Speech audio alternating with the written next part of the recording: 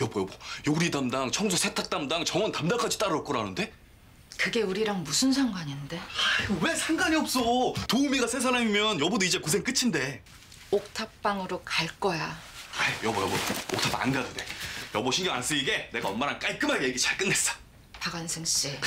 오히려 잘된거 같아 어? 내가 사고 안 냈으면 오피스텔 우리 그냥 들어갔을 테고 그랬으면 우리가 어느 세월에 서북동 저택에서 살아보겠어 어? 그걸 지금 말이라고 해? 여보, 여보 화장대랑 이 침대가 너무 낡았나? 소파랑 전부 다 새 걸로 바꾼다는데 우리 것만 너무 티라나 여보야? 어? 제발 그만 좀 해! 아왜 소리를 질러? 한 번이라도 당신이 버린 일 당신이 책임지고 설거지까지 해봐 좀. 언제까지 이렇게 대충 뭉개고 딴청 필 건데? 여보 뭐야? 당신이 애야? 뭐가 그렇게 신나? 돈 다 날려먹고 어머니 집에 얹혀갔는 게 그렇게 좋아? 막 좋아 죽겠어? 왜 이래 진짜? 나도 남편 어깨에 좀 기대서 살아보자. 어 그렇게 해. 누가 그러지 말래? 자, 응. 당신이 언제 어깨 내준 적 있어? 말 안 해도 힘든 일은 좀 알아서 해주고 뭐든 척척 해결해주는 사람이랑 살아보고 싶다고 나도 왜 맨날 나만 이래야 되는데? 얘가 지금 누구 아들 잡어? 뭘 잘했다고 핏대를 세우고 내 아들을 잡으니까 그게 뭔데?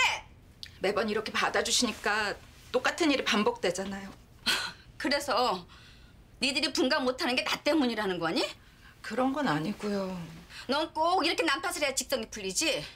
넌 어떻게든 내가 뭐 하나 적당히 넘어가는 법이 없어. 그런 애가 찍소리들 제대로 내겠니? 아니 나 끽소리 내고 살아 엄마. 이런 등신 내가 너 이럴까 이래서 너보다 나이 많은 애 안 낸다 그랬던 거야 알기나 해? 나가서 저희끼리 고생 좀 해볼게요. 이번엔 이 사람 편 들지 말고 모르는 척 좀 해주세요, 어머니. 그게 도와주시는 거예요. 나가서 애를 얼마나 더 잡으려고 무시를 해도 내가 하고 욕을 해도 내가 해 주제넘게 누굴 가르쳐 가르치길 제발요, 어머니. 저희 일은 저희가 알아서 할게요. 알아서 하기 뭘 알아서 해 어? 알아서 한 게 이 모양이야? 어? 알아서 한 게 이 모양이야?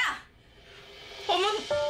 결혼 8년이 지나도록 애 하나 못 낳는 주제에 뭐가 잘났다고 큰 소리야 너 착각하지 마라 너만 나랑 안 살고 싶은 거 아니야. 나도 너랑 안 살고 싶어. 옛날 같았으면 진작에 소박감이야 너 엄마, 아 그만. 아, 내 아들은 내가 데리고 갈 테니까 고생 그렇게 하고 싶으면 나가서 실컷 하고 살아봐 어디 이런 등신 같은 새끼